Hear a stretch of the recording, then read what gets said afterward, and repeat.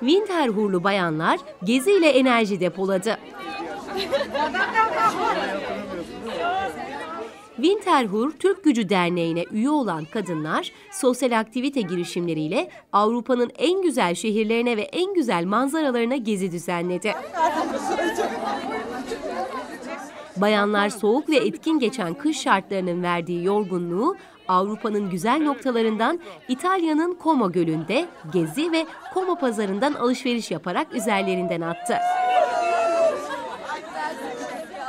Hafta sonu kadın kadına sohbet, eğlence ve geziyle değerlendirmek isteyen üyeler Como şehrinin tarihi ve turistik yerlerini gezdi.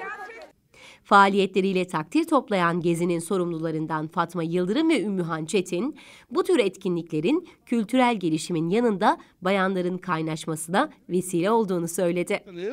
bu aktivitenizde hakkında bilgi alabilir miyiz? Tabii ben Fatma Yıldırım. Ee, bu sene bu bizim birkaç e, düzenlemiş olduğumuz gezi oldu. Öncelikle Winter Tur bayanlarıyla başladık. Çevremizdeki arkadaşlarımızın, dostlarının da katılımıyla gezi turlarımız çoğaldı.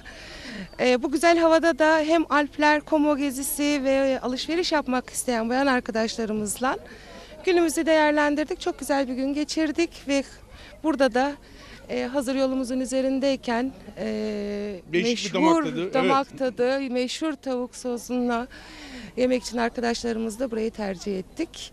Buradan da kısmetse hepimiz gene Sandkalen Winterthur Zürich çevresi artık bayanların danış dayanışması büyüdü gezi turlarıyla diyebilirim. Bu bir sosyal paylaşım çalışması. Ee, ve gerçekten bayanlar bu yönde e, yaşa görmedikleri, yaşamış olduğumuz ülkedeki şehirleri tanıma, doğayı tanıma imkanı yakalamış oluyorlar. Birlikte güzel vakit geçiriyoruz. Sizler de burada olduğunuz için teşekkür ediyorum.